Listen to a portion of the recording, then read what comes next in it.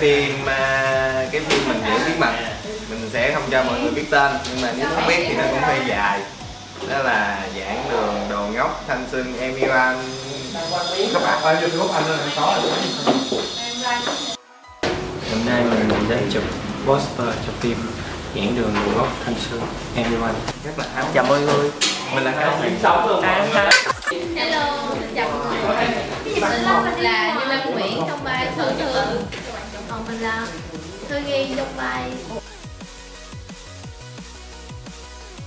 Mình là Lan Thanh trong vai uh, Thư Nghi. Hôm nay mình cũng đến đây chụp poster phim.